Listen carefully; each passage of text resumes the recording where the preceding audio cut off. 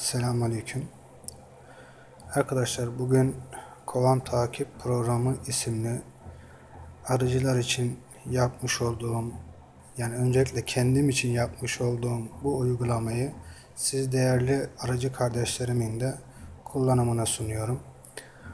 Bu programı ben kendim yaptım. Yani yapmaya çalıştım. YouTube'da videoları izleyerek ve SQL ve MySQL programlarındaki web sitelerindeki uygulamaları izleyerek, kodlarını öğrenerek, yani çok büyük çapta değil ama amatör çapta e, öğrenerek bu uygulamaya e, kattım ve bu uygulamayı elimizden geldiği kadar yapmaya çalıştık. Mutlaka bu programın hataları, kusurları olacaktır da ileride.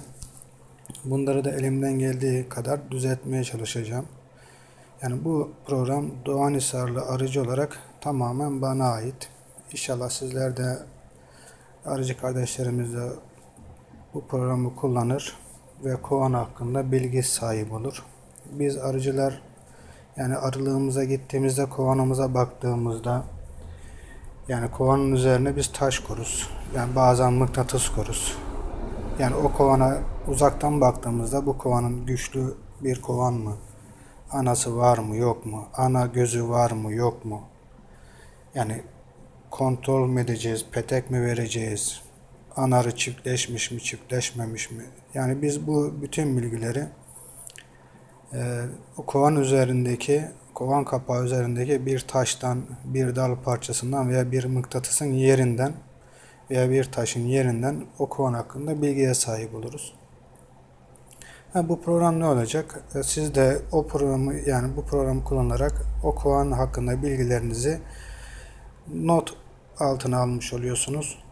Ve ileride evde otururken, kahvede otururken, arkadaşlarınızla sohbet ederken kovan hakkınızı veya evde Facebook'a gireceğinize bu kovan, programa girip kovan hakkındaki aralığınız hakkındaki bilgileri ne kadar hasat ürün elde ettiğinizi, ne kadar petek çıkardığınızı, kaç teneke ürün elde ettiğiniz, ya arı sütü üretiyorsanız veya propolis çıkarmışsanız ne kaç kilogram e, polen ürettiğinizi vesaire bu programda hepsini onu bulacaksınız. Şimdi uygulamayı sizlere tanıtmak için beraber bakalım. Ortadaki kısma tıkladığımızda kovanınızı ekliyorsunuz arkadaşlar. Buradaki bütün e, alanları doldurmak zorundasınız. Çünkü kayıt etmiyor. Neden etmiyor onu da ben de bilmiyorum. Hani bu işin acemisi olunca bunu düzenleyemedim arkadaşlar. Sizler de mutlaka bütün alanları doldurun. Eklediğimizde bu kovan numarasını arkadaşlar ister manuel olarak ister kovana vermiş olduğunuz bir isim veya Arıcılar Birliği'nden almış olduğunuz barkod okutarak bu kovan numarasını yazıyorsunuz. Koloniyi oluşturduğunuz tarihi ileri ve geri alabilirsiniz. Anarınız buradakilerden hangisi ise hangi ırka mensupsa bunu işaretliyorsunuz, yapıyorsunuz. Burada ana yılını yaptığınızda ananın e, renk yılı, rengi yıla göre değişiyor arkadaşlar. Kovanın nasıl oluşturduğunuz bölmeden mi, oğuldan mı, satın alma mı, paket mi, arıdan mı aldınız, başka bir kovanı söndürün yerine mi koydunuz gibi değerleri seçiyorsunuz. Kovan tipiniz nedir? Kara kovan, ruşet kovan, on çerçeveli kovan, ana ara kutusu, dadant, sepet, apimaya, termo kovan, koloni destek kovanı. Yani bu kovanlardan hangisini kullanıyorsanız onu seçiyorsunuz. Kovan durumunuz nedir? Şu anda aktif mi? Yoksa gittiğinizde çalınmış mı? Erkeklemiş mi? Ve buradaki sönme sebepleri nelerdir? Bunlardan herhangi birisini seçiyorsunuz ve kovanı tabi buna sarı yazalım. Ve kovanı kaydediyorsunuz arkadaşlar. Kaydettikten sonra arkadaşlar burada sizin kovanınız görmüş olduğunuz listeye eklendi. Bu kovanı tekrar tıkladığınızda bu kovan hakkındaki bilgiler sizin karşınıza geliyor. Ana menüye gidelim. Şimdi bu kovan hakkındaki yaptığımız bakımları buraya yazıyoruz. Kovan listesinden kovanı seçiyoruz. Kovanınızı seçiyorsunuz. Görmüş olduğunuz gibi bu kovan oluşturma tarihi ve bakım tarihini işaretliyorsunuz. Yani o otomatik olarak geliyor. Burada bu kovana baktığınızda ana var mı? Yani günlük günlük durumu, açık yavru durumu, kapalı yavru durumu, kovanın bal durumu, polen durumu, bunları işaretliyorsunuz. Toplam çerçeve miktarını yazıyorsunuz. 9 çerçevemiz var. Bunun 9'u da aralı. Yavru çerçevemiz 8, ballı çerçevemiz 2, kabartımız 6, temel peteğimiz 3 diyelim. Arı yoğunluğumuz nasıl? Yoğun bir arı popülasyonu var. Kokumuz normal. Yani kötü olması zaten hastalık şey. Ana memesi yok. Ananın keyfi sakin. Beslenmeyi neyle yaptınız? Bal akımında şerbet birebir. Bunları se seçiyorsunuz. Yumurta düzeni mükemmel iyi. Ve açıklamaya arkadaşlar mutlaka buradaki değerleri doldurun ki kaydetme sıkıntısı olmasın. Buraya da herhangi bir şey bin karaktere kadar buradan açıklama yazabilirsiniz veya buradaki konuşan insan resmine bastığınızda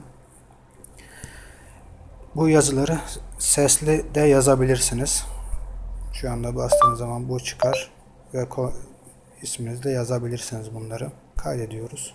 Şimdi bu kovanımız kaydedildi. Tekrar bu bilgilere ulaşabiliyorsunuz bastığınızda. Burada ekranda gördüğünüz son 3 bakımı gör ifadesine tıkladığınızda arkadaşlar şimdi bizim 6 Haziran 2018 günü bakım yaptığımızda kovanın özellikleri bu. Biz farklı bir günde geldiğimizde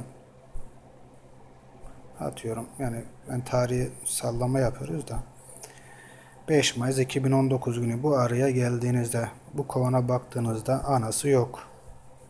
Ve diğerleri var. Çerçeve 11 olmuş.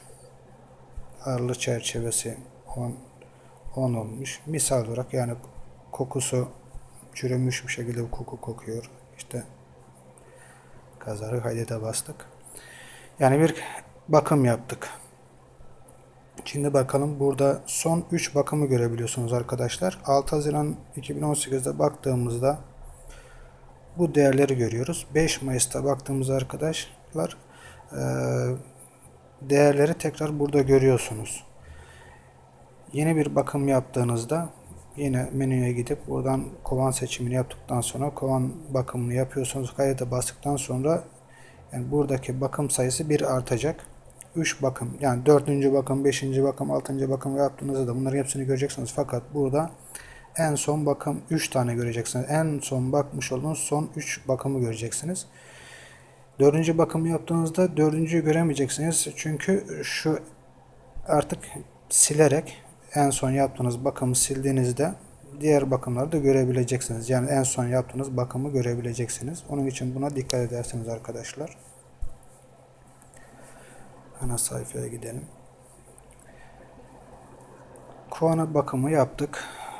Bu bölümde ise hasat yani o kovandan elde ettiğimiz hasat miktarını yazıyoruz arkadaşlar. Bal işte 2 adet ballı petek aldık veya arı sağım sonra bir teneke balımız bir teneke bal aldık. Polen 3-5 kilogram. Arı sütü yapmadık. Propolis yok. Arı zehri yok. Bal mumu da 5 kilogramda bal mumu oldu. Bunu e, kaydediyoruz. Daha sonra arkadaşlar bu kovana gelip baktığınızda şimdi bu kovanındaki hasat etmiş olduğunuz ürün miktarlarını görüyorsunuz. Tekrar buraya e, değer girdiğimizde mesela 1 artıralım bunu veya işte 6 artıralım. Tenekeyi 5 artıralım. Bunlar da arkadaşlar değerler mutlaka girin. 0 olarak girersen toplamada sıkıntı olmaz. Kaydettik.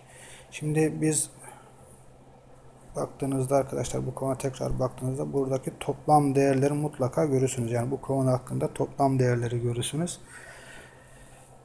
Buraya da ileriki günlerde arkadaşlar yani bir önceki veya üç önceki, beş önceki, on önceki yani basamak basamak hangi gün kaç petek aldığınıza dair o bilgileri de inşallah yerleştirmeye çalışacağım. Bu hesap makinesine baktığınızda arkadaşlar kovanınızda aralığınızda kaç kovan var? Çerçeve sayısı, toplam çerçeve sayısı nedir? Arılı çerçeve sayısı, yavrulu, ballı, kabartılmış peteksi bunların hepsini tamamen görüyorsunuz.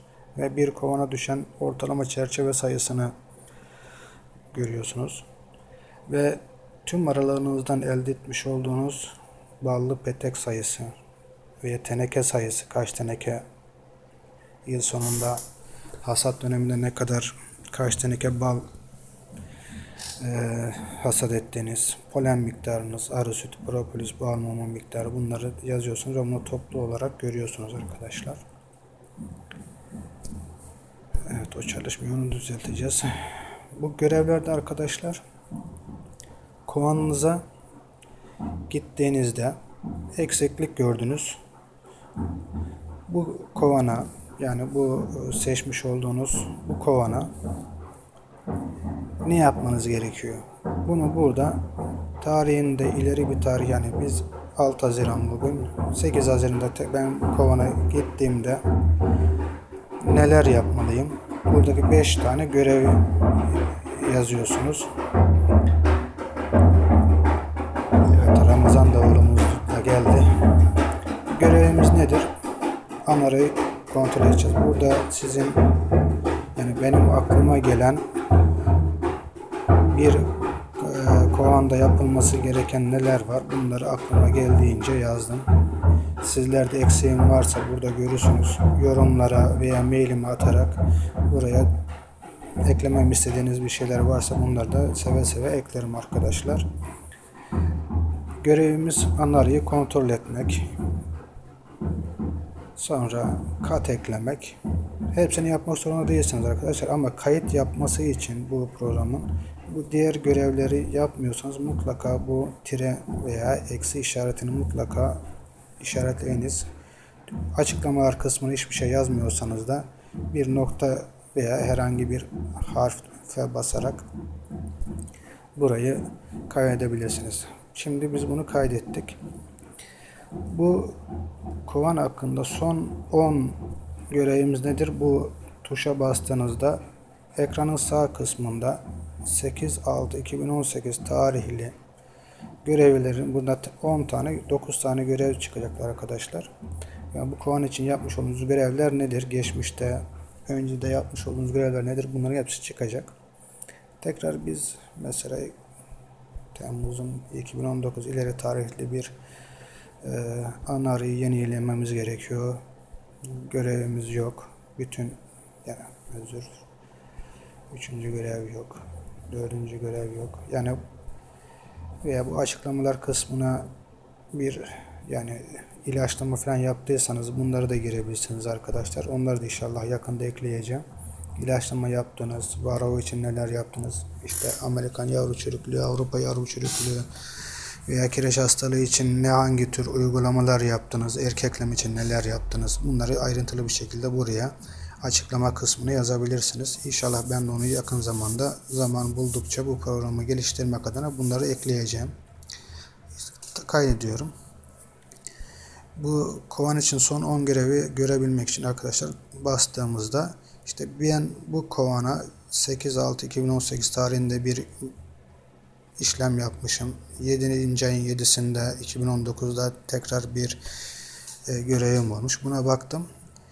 Bu takım e, işaretlediğinizde arkadaşlar dokunduğunuzda bu e, 6. ayın 8'inde bu kovana neler yapmışım bunu burada görebiliyorum. 7. ayın 7'sinde baktığımda neler tıkladığımda onları görebiliyorum.